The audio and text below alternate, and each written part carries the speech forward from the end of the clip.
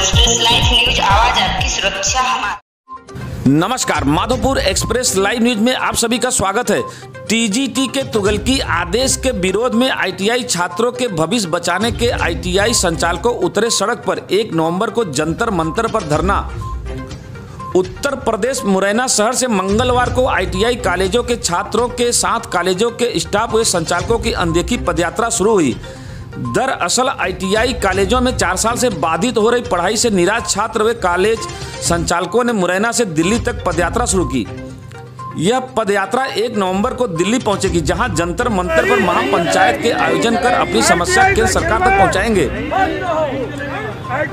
बता दें कि मंगलवार की दोपहर मुरैना के बैरियर स्थित रेस्ट हाउस से यह पदयात्रा शुरू हुई। यह पदयात्रा आईटीआई महासंघ अखिल भारतीय आईटीआई छात्र महासंघ अखिल भारतीय छात्र एवं संचालक संगठन संयुक्त प्रांत संगठन की अगुवाई में हो रही है। जो कोर्स दो साल में पूरा हो जाता है, वह चार साल बाद भी अधूरा है। कोरोना काल में अन्य स्कूल, कॉलेजों के छात्रों को जनरल प्रमोशन मिला, लेकिन आईटीआई छात्रों को नहीं मिला। इसलिए अब मुरैना से दिल्ली तक पदयात्रा शुरू किया गया है। मुरैना से यह पदयात्रा धौलपुर, आगरा, मथुरा, कोसी, पलवल, फरीदाबाद होते हुए एक नवंबर को जंतर मंतर पर महापंचायत होगी। केंद्रीय मंत्री को बुलाकर उनके सामने अपनी समस्या रखेंगे और उनका निदान करने की मांग करेंगे। ऐसे में राष्ट्रीय स्तर से प्रमुख रूप से अगुवाई करे राष्ट्रीय अध्यक्ष बी एस तोमर एवं उत्तर प्रदेश की अगुवाई करे दीपक सक्सेना, अजीत यादव, सतीश चंद्र पांडे, अमित द्विवेदी, सुनील वर्मा आदि लोगों द्वारा उत्तर प्रदेश के संपूर्ण ज़िले से अधिक से अधिक संख्या में जंतर मंतर पर एक तारीख को पहुँचने के लिए प्रेरित एवं आह्वान किया।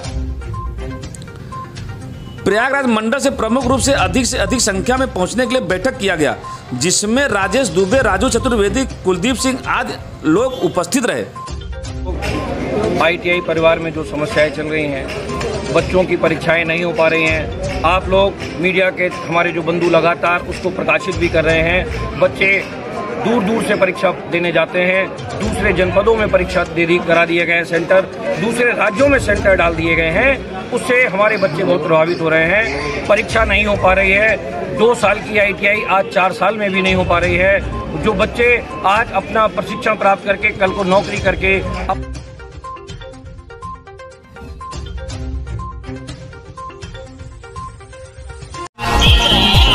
एक्सप्रेस लाइव न्यूज़ आवाज़ आपकी सुरक्षा हमारी।